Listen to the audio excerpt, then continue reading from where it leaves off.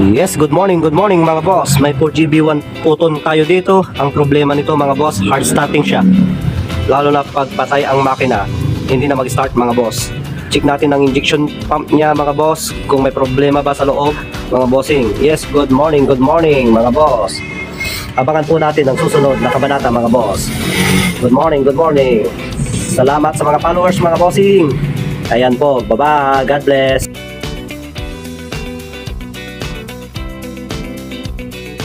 Thank you for watching. Follow more us TikTok, YouTube, FB page.